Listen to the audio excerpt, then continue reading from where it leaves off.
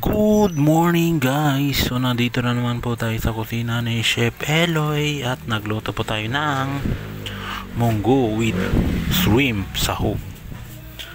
So yan po, syempre ingredients po natin, hipon, munggo, sibuyas, bawang, kamatis, luya, konting paminta,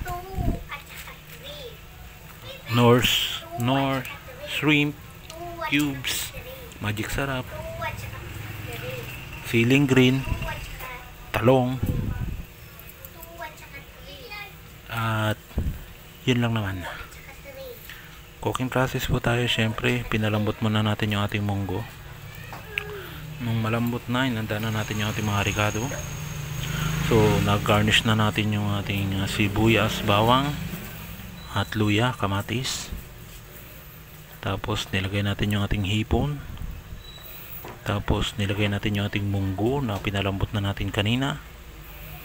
Dinagdagan natin ng tubig.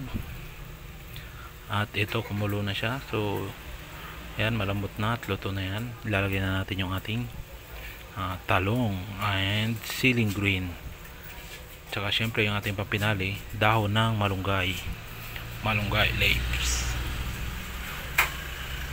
So thank you for watching guys. Chef Eloy po ang inyong likod. Magandang umaga.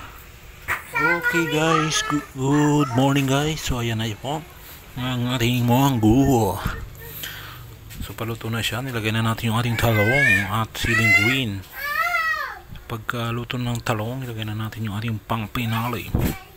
Malunggay, dahon ng malunggay leaves. Okay guys.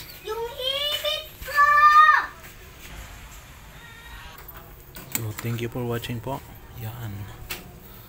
Ang laki ng hipon. Oh. Munggo with hipon.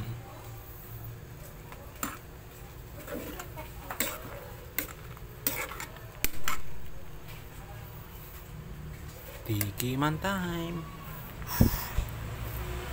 Yum yum yum. Thank you for watching guys. Okay guys, luto na po. Ayan na siya. So thank you for watching guys. Yum yum yum. God bless po.